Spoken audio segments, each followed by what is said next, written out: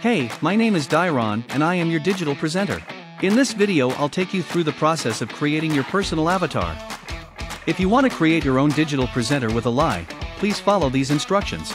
The quality of your custom presenter will 100% depend on the quality of the footage that we will receive. Book a studio with a good camera and green background available. Clothes, hairdo, and makeup on the avatar will stay the same as in your footage. We won't be able to change the look later so please make a recording in suitable clothing that will fit most of your videos.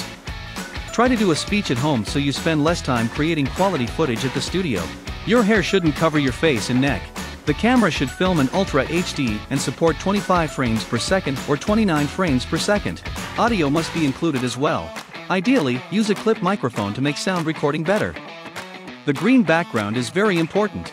If you can't have a green background you should have at least a plain one color background where the color will be contrasting with your clothing and hair. There should be good lighting.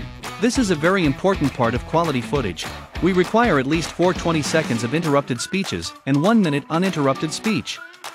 The same way as if you do in public or filming a regular video speech, it's very important to perform 2 to 3 second pauses during the speech and at the end of the speech. Each speech should have at least 2 to 3 pauses. During pauses, your mouth should be closed. Please pay attention to the lights, pauses and speech. Your movements should be natural. You can use a few gestures and face movements.